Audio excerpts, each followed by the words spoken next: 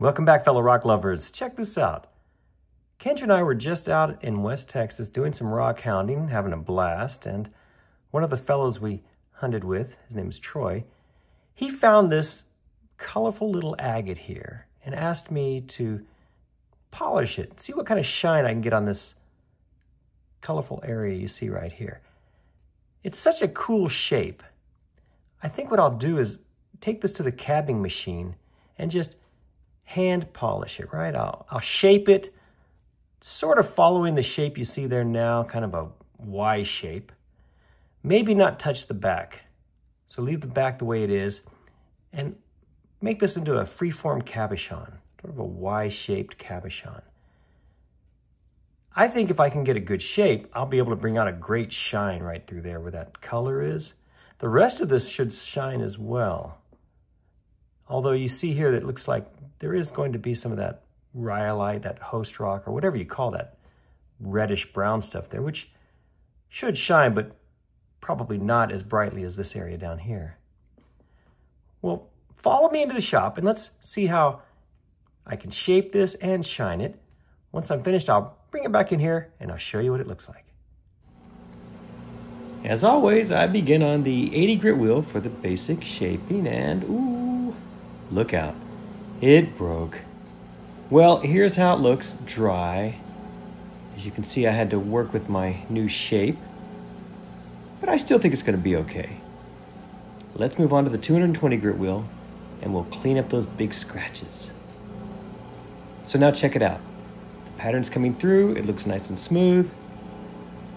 Let's move on to the next wheel, the 280 grit wheel. I'm gonna push in now, get rid of any faceting. And now, as you can see, it's very smooth.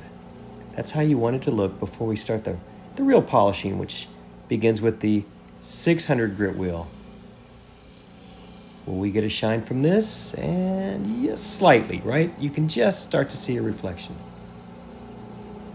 The next wheel is the 1200 grit normally where the polish really takes off. Let's see what happens. Oh, look at that shine now. The shop lights, they are reflecting. And I really like the colors as well. The last wheel is the 3000 grit. And for our polish now, it looks like, ooh, very good. I'm happy with that, but I think we can do better. Let's move over to the cerium belt on the wet belt sander.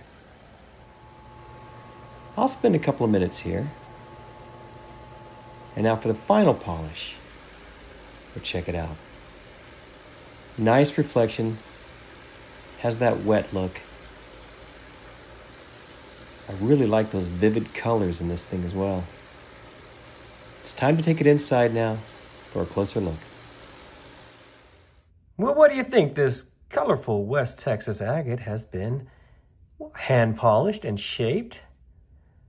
And, ooh, well, it's certainly colorful. Look at all of that beautiful pattern in there. And it did take a really good shine. I know, I know, it's not a perfect shape. It broke on me. What are you going to do?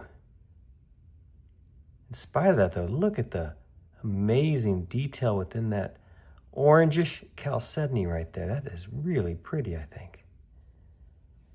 And this section over here, wow, I really like that.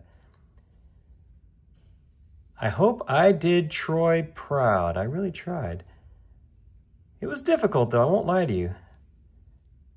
That's how it looks unpolished and what a difference, right? That's why we polish these stones, so we can bring out that amazing detail. Look at that. There's green, yellow, red, gray. I think I see white. There's a violet color. Any blue? I don't know if I see blue anywhere. Well, regardless, it has lots of color for sure. Thank you so much for watching this video. I hope you enjoyed it. And if you did, please check my playlist. I've got lots more lapidary videos like this for you to enjoy. Thanks again for watching.